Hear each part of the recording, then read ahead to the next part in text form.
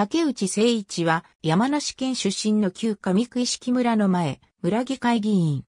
小学校を卒業後、14歳で満蒙開拓青少年義勇軍に入隊。旧満州国の北安省に渡り現地召集したが、終戦後4年間のシベリア抑留生活を経て、1949年に帰国。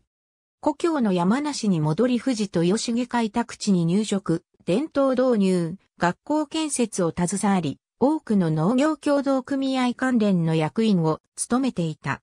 1989年に、オウム真理教が同地区に進出が問題となり、藤上根地区オウム真理教対策委員会の副委員長として務め、反対運動、騒音対策など指揮を取った。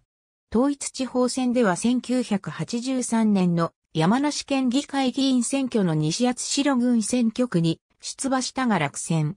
1999年の日本共産党公認として上区石村の村議会議員に立候補し、当選に期務めた。同村消滅後の2006年4月に、藤川口湖町の町議会議員の増員選挙に立候補したが、落選し引退。現在は妻と息子と酪農経営や日中友好協会山梨支部長代行を務めている。